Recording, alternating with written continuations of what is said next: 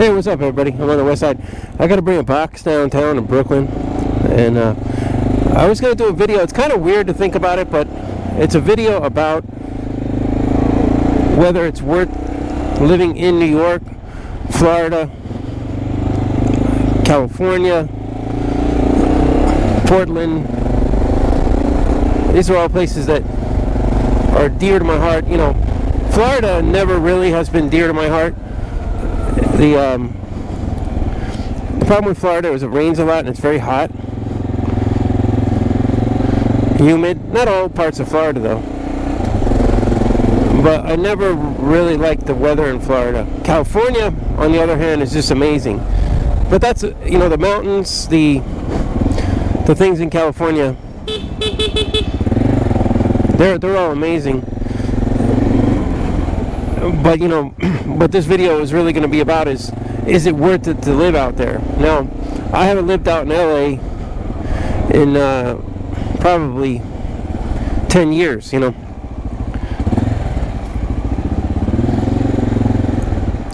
So I don't know if LA is still worth it.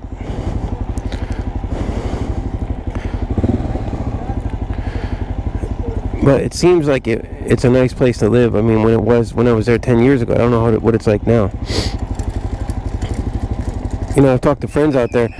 They say that the um, standard of living has went down greatly. Like what you need to to survive has gone went down immensely. So that's a big issue even in Santa Barbara where I was working before too. I used to I used to commute up from LA County up to Santa Barbara on a on a BMW, uh, and I used to work on wireless sites.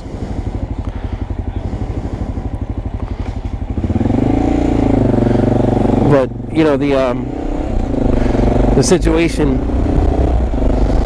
in California is rough to live, as most places are. You know, New York is a rough place to live too.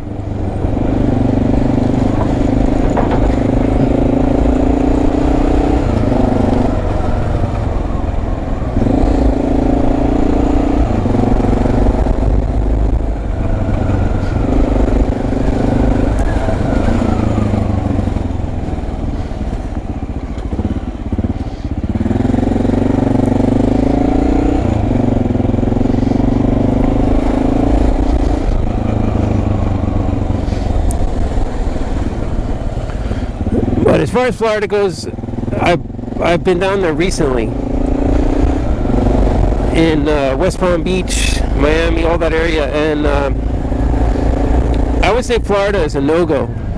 Uh, because it's completely inundated with people.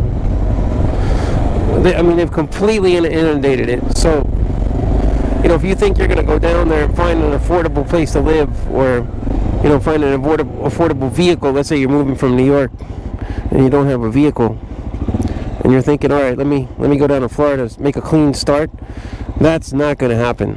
Uh, everything is jacked up down there because people, you know, the the cost of living has went up immensely, and so has for everyone. So people are just jacking up prices on everything. They're trying to get away as the most that they can possibly get. So that's a big no-go. Uh, LA, I don't know. I would have to get input from you guys, from from uh, commenters on what the situation in LA is because I I haven't been out there for 10 years and a lot has changed. You know, supposedly they're going to be working on affordable housing initiatives. They have propositions already passed. You know, to change zoning. I I don't know what the outcome of, of that will be. I mean, I just don't know. It's hard to say.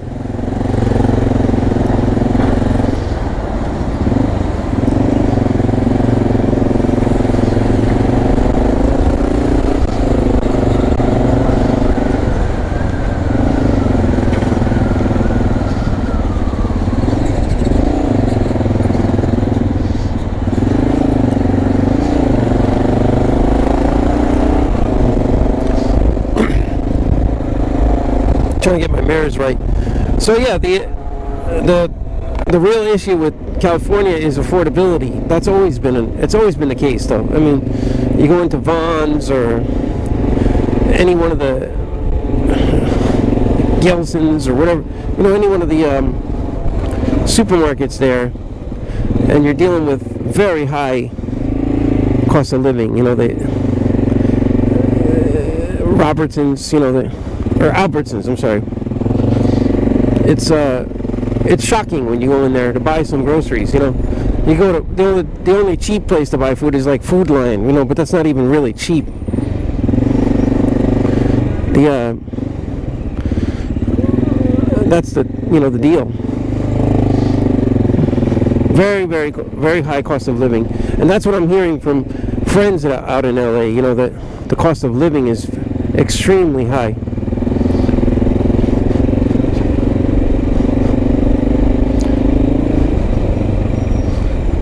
Extremely. We're not even just a little bit. We're talking major.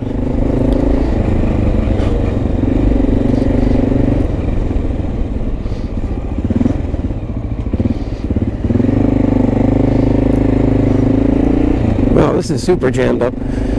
So, you know, that's uh, that could be a, a no-go. California, you know, you don't. I don't know uh, what the deal is, you know, but whether or not the changes will happen to make it more affordable would be interesting to find out.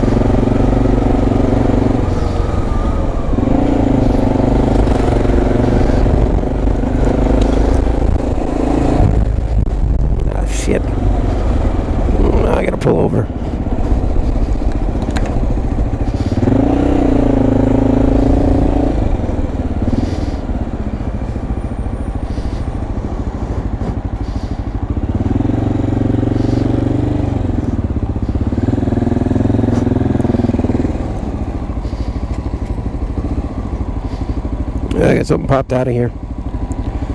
Uh, let's see.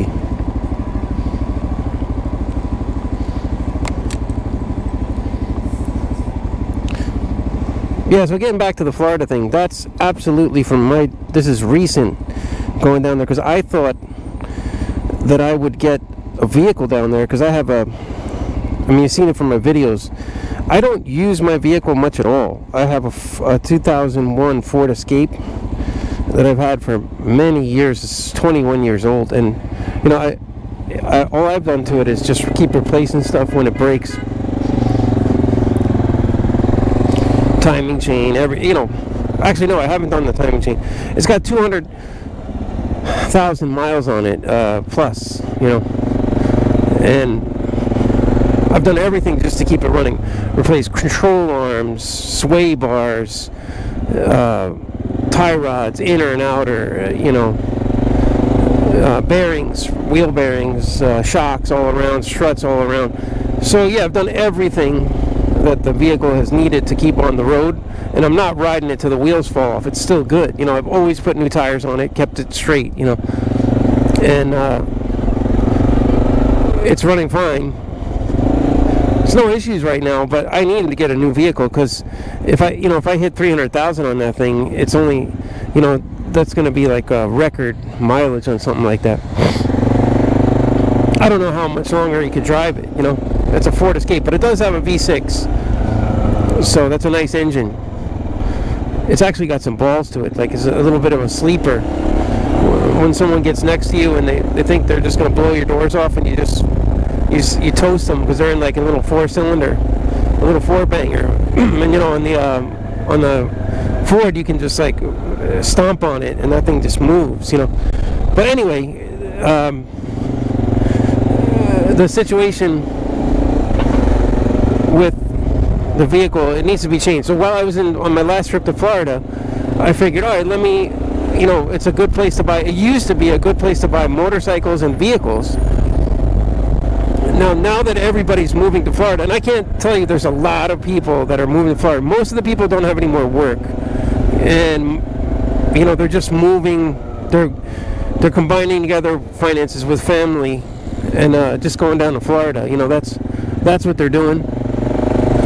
I know I know quite a few people have done that. You know, they they just basically throw in the towel on their work and go down to Florida. And uh, you know, in the beginning, it might seem like a good lifestyle, but there are some serious differences between Florida and New York. One, number one is the weather. It, you know that it's it's extreme. It's a bit extreme there. It rains sometimes. You know, it rains a lot, but it doesn't rain like here where it rains for two days. You know, usually not anyway. You know, but sometimes it does too. But the rain down there is quite severe. The the humidity, the the high temperatures. And I went down in June, so it was or August. I'm sorry. It was brutal. I mean, I I, I nearly like exploded a couple of days when I was working outside. I don't have a um, I didn't have an air conditioned garage to work in, so I was working on the KLR, and it was so hot that I actually didn't get done all the things that I needed to get done on the KLR. Like I, I finished almost everything. But the one that I just finished recently was the throttle cable. I had to do that outside, you know, in in the office in New Jersey because I just did, I ran I completely ran out of time in Florida, and I, I didn't have any more time. There was not even time to just enjoy a little vacation. It would have been nice, you know, to have a little vacation. But that didn't happen.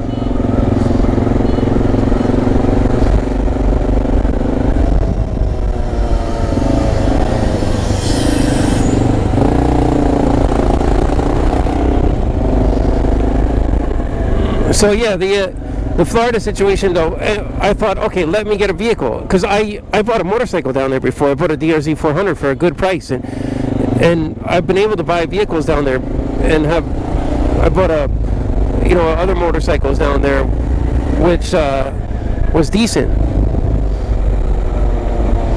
But I started to I started to notice that friends and family members started telling me, hey, you know, things are really changing down here. And, you know, expense wise. Went to the supermarket, I noticed it's not as bad as, say, California, but the cost of living has definitely increased and the availability of housing and things like that has, has increased greatly.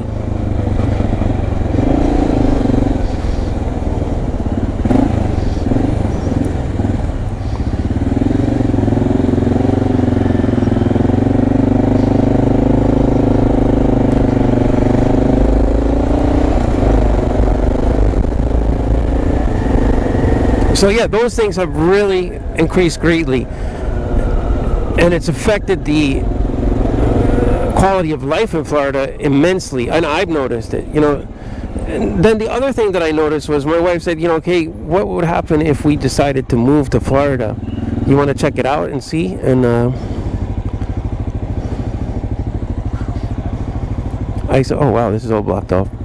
This fucked up, man.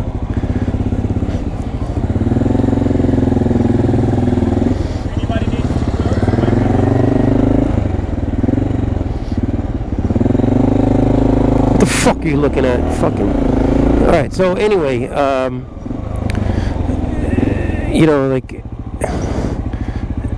the everything's changed big time. You know, and friends, family, everybody said, you know, what's going on? You know, like what? It's like our lifestyle is changing big time here.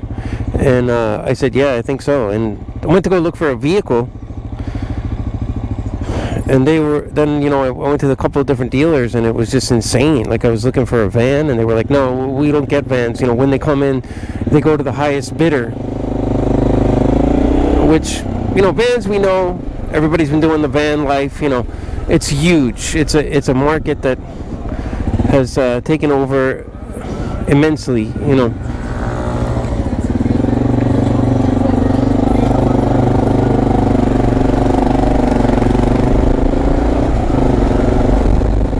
So yeah, the whole situation is is huge with the van life. We we already know that.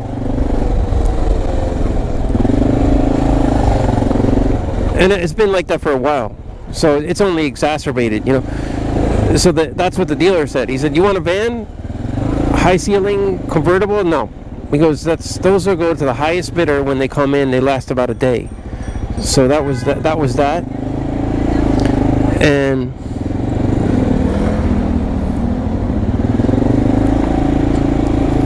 there's nothing more you can do about it. You know, vans are not going to be had. You know, so that's basically what what I determined. And then other vehicles, they were trying to pawn off other vehicles. You know, that were not were high mileage and not worth the money they were asking. It's it was just so jacked up. It was ridiculous, and they were asking me for pricing that I just couldn't uh, support trying to push you into loans that would just not make sense. So the pricing is jacked up, is what I'm trying to say. There were no new vehicles. Like the new vehicles, they seem to be holding. Um, I think they're holding for bidders. You know, they had a, a nice uh, Jeep, and they were like, "Oh no, that's uh, being held. That has a deposit." You know, everything had a deposit on it. So I was getting a little scared because I'm thinking to myself, this guy's telling me there are no vans because they go to the highest bidder. New vehicles are all held. It doesn't, and he's very vague about, you know, who's holding them. So it makes you scared because you're like, what, what's happening here? You know, am I a buyer or not? You know, and maybe I'm not a good buyer. Maybe I'm not a optimal buyer because maybe they're looking for someone who comes in with cash and goes over asking price. That's what they're looking for. Anyway, that's what I feel. So it's not going to happen, you know. So the vehicle thing was out. As soon as I got there, I realized, no, this is not going to happen. And then the other problem was the the housing. We looked at housing, and we were just in, we were just completely shocked at what they were asking for for housing. I mean, it was. Uh,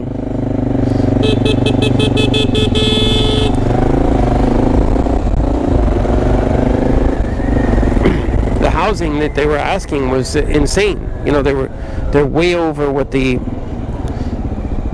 price would be. It's just jacked up. Again, the the same thing, high bidder. So I wasn't and I, and I didn't like what I saw because I know what the Florida housing pricing. I've seen it before. You know, I've looked at houses down there, and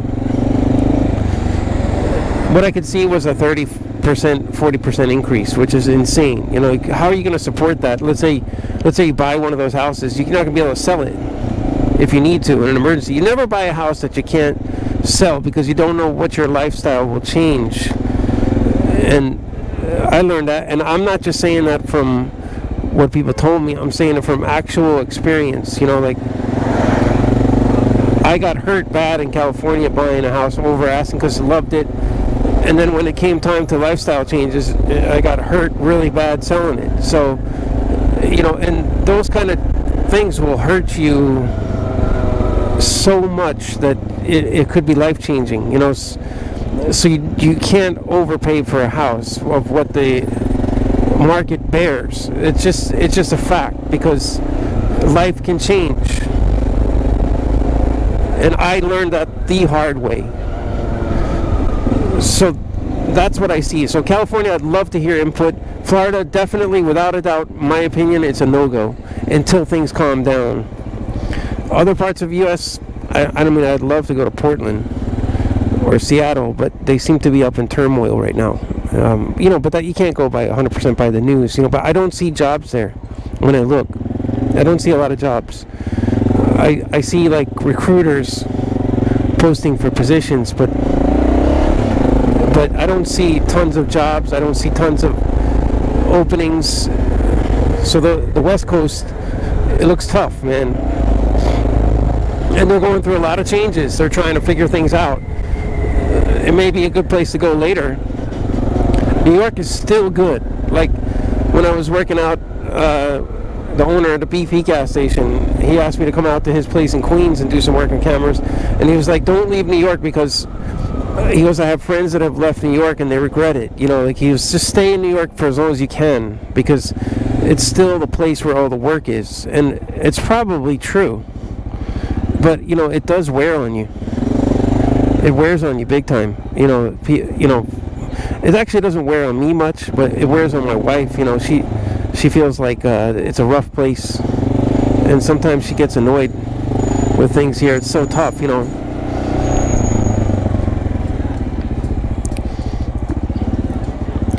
It's not an easy place to uh,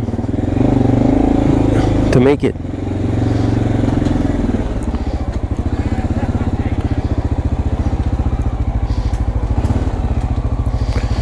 So that was the that's my thing. New York is still good and I'm hearing that from a lot of people. So the California, I'm not sure. I'd love to love to get the input. That's my second request for that. I know I keep repeating myself.